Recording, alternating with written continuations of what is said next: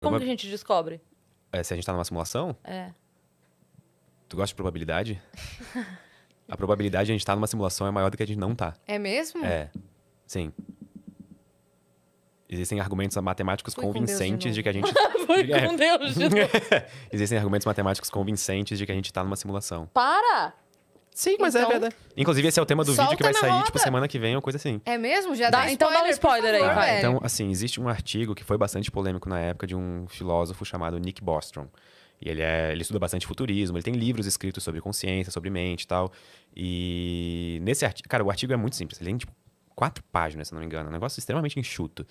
É, ele basicamente fala que um dia a humanidade vai atingir. Tem, são três pressupostos. Eu não lembro eles exatamente de cabeça, mas alguma coisa assim.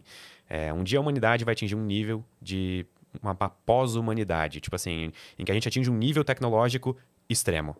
E a gente vai conseguir fazer, tipo, simulações de, sei lá, nossos ancestrais. Vamos supor que a gente é antropólogo, eu quero estudar como que os incas viviam, e eu simulo uma sociedade inca. Vocês concordam com Você isso? Transferido pra essa sociedade. tipo- Não, sem, sem transferir. Imagina que tá tudo no computador, em primeiro momento. Ah, tá. Imagina que tá tudo no computador. Só, só tá simulando o que tu quer realmente estudar. Tá. Vocês concordam que isso é possibilidade? Sim. Total. Tá, se isso é plausível, então é, também eles teriam capacidade computacional suficiente de criar uma simulação realista de pelo menos um pequeno grupo po- populacional. Assim. Eles poderiam simular uma mini sociedade de um milhão de pessoas e colocar alguém lá dentro, simulando todas as sensações, consciência, emoções, cérebro, tudo. Vocês concordam com isso? Uhum. Então a gente vive uma simulação.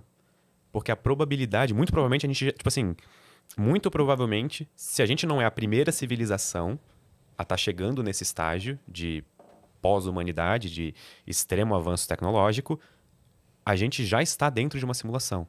De alguém. Sim. E a gente não sabe nem, tipo assim, qual layer, qual camada da simulação que a gente seria. Porque muito provavelmente a simulação também criaria uma simulação. Que também poderia criar uma simulação. A gente tá fazendo uma. É. E se agora ser... você já tá suspeitando que é uma simulação, eles vão acabar com você, cara. Exatamente. Fala disso não! Daqui a pouco tá entrando o agente Smith aqui na sala, entendeu? É. E eu tô, tô, tô- ser pego e de- deletado, assim, na simulação. Caraca. Porque, tipo assim, a, a questão de probabilidade, ela surge no seguinte. Qual que é a chance de a gente ser a primeira civilização? É quase nula. É. Tipo assim, é muito maior e mais gritante a chance de a gente ser uma das simulações do que nós sermos a primeira sociedade que vai fazer uma simulação.